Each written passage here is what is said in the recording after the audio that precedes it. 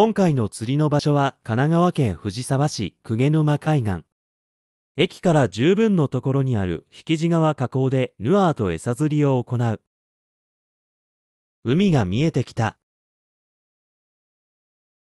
快晴で日差しが強く、釣り人はほぼいない。サーファーと海水浴客で賑わっている。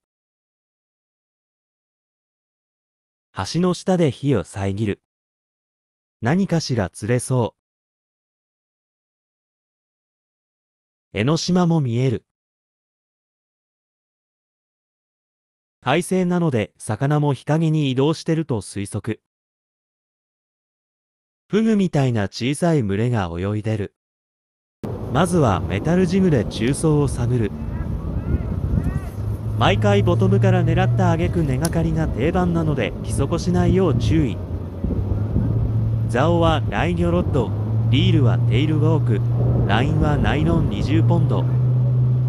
ジグはもちろんダイソー。なんとなくしゃくってみる。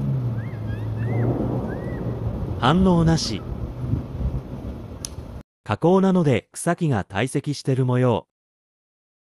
小型ダイソー未納に変えてみる。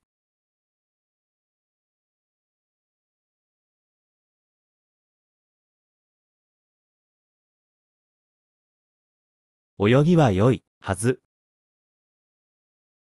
結局、ミノーも釣れなかったので、エビを餌に餌釣りを行う。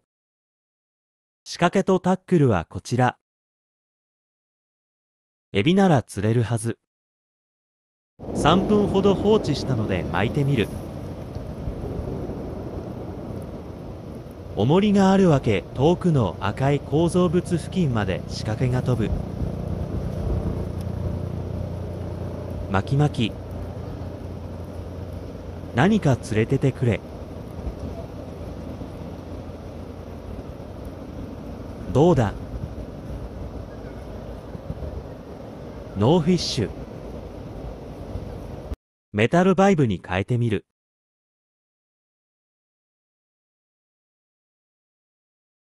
動かし方下手だけど多分巻けば何とかなる。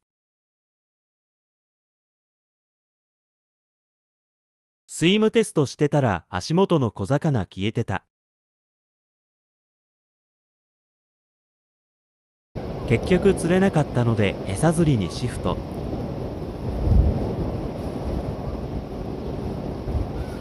とりあえず魚が見たい。ローギアなので回収が遅い。どうだ？餌さえ取られてない。地元民距離近いな。片瀬漁港にやってきた。ここで釣れたことは一度もないので頑張る。遮蔽物がないのでなえる。江ノ島良い眺め。まずはエビを使った餌釣りから始める。魚影なし。モーターボートの音が響く。釣れる気配はなし。